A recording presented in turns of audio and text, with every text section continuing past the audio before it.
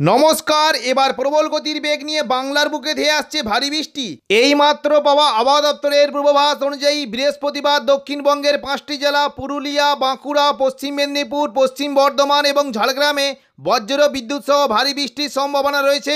এছাড়াও বাকি দশটি জেলা, উত্তর দক্ষিণ চব্বিশ পরগনা, হাওড়া, হুগলি, কলকাতা, পূর্ব পশ্চিম বর্ধমান, বীরভূম, মুর্শিদাবাদ এবং নদিয়াতে বজ্র বিদ্যুৎ সহ হালকা থেকে মাঝারি বৃষ্টির সম্ভাবনা রয়েছে।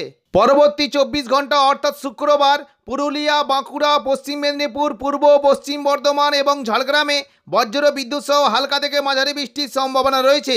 সঙ্গে ঘন্টায় চল্লিশ থেকে পঞ্চাশ কিলোমিটার গতিবেগে ঝোড়ো হাওয়া বোঝাতে পারে। আবহাওয়ার পূর্বাভাস অনুযায়ী উড়িষ্যা সংলগ্ন উপকূলে অবস্থান করেছে একটি ঘূর্ণাবর্ত, যেটি আগামী বাহাত্তর ঘণ্টার মধ্যে নিম্নচাপে পরিণত হওয়ার সম্ভাবনা রয়েছে।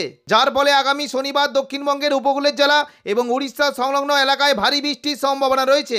উত্তরবঙ্গের আবহাওয়ার পূর্বাভাস অনুযায়ী দার্জিলিং, জলপাইগুড়ি, কালিম্পং, আলিপুরদুয়ার এবং কোচবিহারে বজ্র বিদ্যুৎ সহ হালকা থেকে মাঝারি বৃষ্টির সম্ভাবনা রয়েছে। এছাড়াও উত্তর ও দক্ষিণ দিনাজপুর এবং মালদাহতে বজ্র বিদ্যুৎ সহ হালকা বৃষ্টির সম্ভাবনা রয়েছে। উত্তর পূর্ব ভারতের আবহাওয়ার পূর্বাভাস অনুযায়ী আগামী পাঁচ দিন হালকা থেকে মাঝারি বৃষ্টিপাতের সম্ভাবনা রয়েছে। অরুণাচল প্রদেশ, আসাম, মেঘালয়, নাগাল্যান্ড, মণিপুর, মিজোরাম, ত্রিপুরা এবং সিকিমে বাংলাদেশের আবহাওয়ার পূর্বাভাস অনুযায়ী বৃহস্পতিবার বাংলাদেশে ঢাকা, বরিশাল, চট্টগ্রাম মনমেন সিং খুলনা ও সিলেট বিভাগে বজ্র বিদ্যুৎ সহ হালকা থেকে মাঝারি বৃষ্টির সম্ভাবনা রয়েছে। এছাড়াও রাজশাহী ও রংপুর বিভাগে হালকা থেকে মাঝারি বৃষ্টির সম্ভাবনা রয়েছে। উপকূলবর্তী এলাকাগুলিতে সন্ধ্যের দিকে ঘন্টায় তিরিশ থেকে চল্লিশ কিলোমিটার গতিবেগে ঝোড়ো হাওয়া বোঝাতে পারে। আবহাওয়ার পূর্বাভাস অনুযায়ী কলকাতা ও পার্শ্ববর্তী এলাকাগুলিতে মেঘলা আকাশের পাশাপাশি সর্বোচ্চ তাপমাত্রা থাকবে চৌত্রিশ ডিগ্রি সেলসিয়াসের কাছাকাছি এবং সর্বনিম্ন তাপমাত্রা থাকবে সাতাশ ডিগ্রি সেলসিয়াসের কাছাকাছি। বাতাসে সর্বোচ্চ আর্দ্রতার পরিমাণ থাকবে উননব্বই শতাংশের আশেপাশে।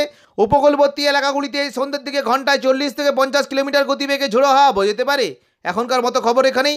পরবর্তী আপডেট পাওয়ার জন্য চ্যানেলটিকে অবশ্যই সাবস্ক্রাইব করে পাশে থাকা নোটিফিকেশন বেলটি অবশ্যই ক্লিক করে রাখবেন। আর যদি আপনাদের এই খবরটি ভালো লাগে, তাহলে লাইক ও শেয়ার করতে ভুলবেন না। ধন্যবাদ।